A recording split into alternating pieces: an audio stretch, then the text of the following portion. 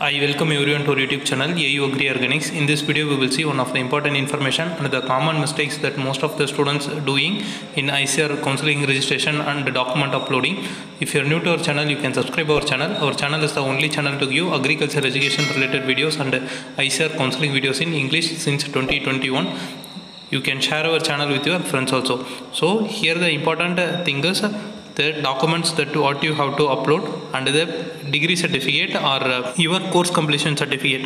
So here in pg and phd information bulletin ICAR has clearly mentioned that you have to get the certificate from the register of concerned university.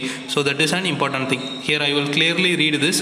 Here in the list of uh, documents you have to upload at the time of uh, counseling and physical reporting.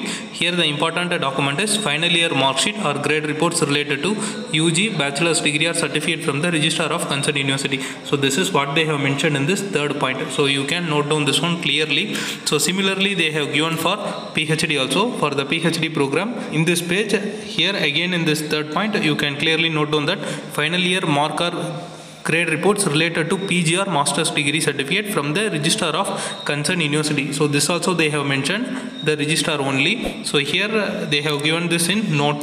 So for PG we can see first. So for PG here in the first point they have given in the footnote the candidates must complete the graduation degree in all respects and should have all the degree completion requirements and pdc on or before 10 9 2024 so this date now has been updated to 25th september so that all may know.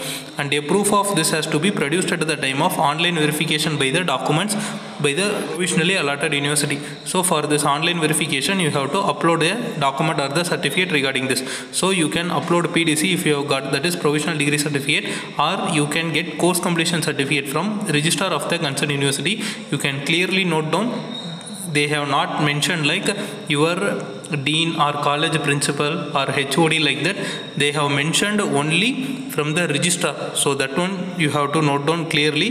During counseling failing which they will not be considered for admission. So if you have not uploaded this one course completion certificate or pdc or um, your final semester mark sheet so you will not be considered for admission. No correspondence shall be entertained by the council in this regard at the time of online verification of documents by the allotted university, the candidates will be required to produce provisional degree certificate or degree of qualifying graduate examination issued by the university for this purpose. So, in the document uploading, you have to give this provisional degree certificate of your UG. If you are applying for PG, you have to give this for UG or the degree of qualifying graduate examination issued by the university for this purpose. That is your registrar. So you have to get this uh, certificate only from the registrar.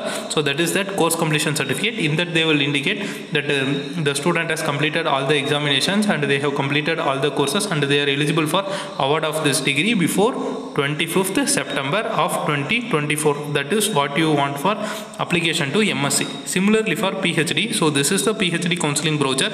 I will explain clearly.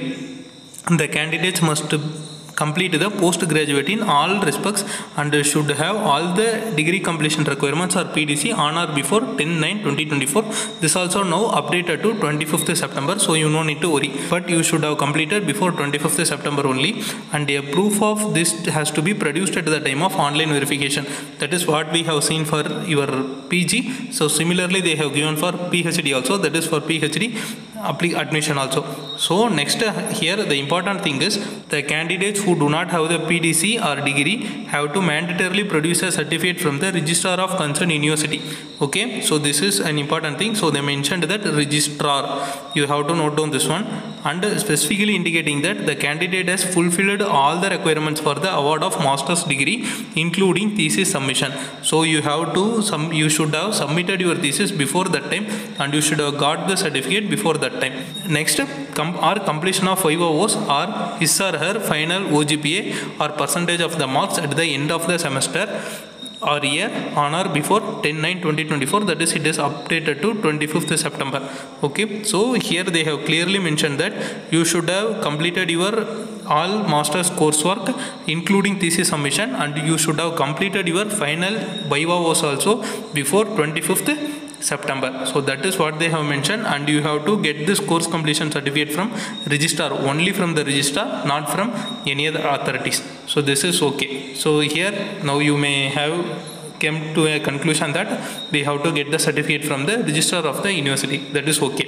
But for example you got the certificate from any other authority such as your dean okay? Dean or principal or someone and you are uploading the document to ICAR portal for document verification okay? So if you consider some universities they are verifying your document and they are rejecting that because ICAR has mentioned that you should do, get this from registrar of that concerned university. Okay? So they are rejecting your document. So now you cannot claim that I have uploaded this course completion certificate that I got from my college principal or college dean like that. You should have got from your registrar. So this is okay. Next the next very very important point is you cannot go for upgradation because university has already rejected your certificate rejected your admission okay? The that particular the university which you have been allotted during the first round counseling is the verification with authority for ICAR so they will verify the documents and they will check whether you are eligible for this admission or not regardless of university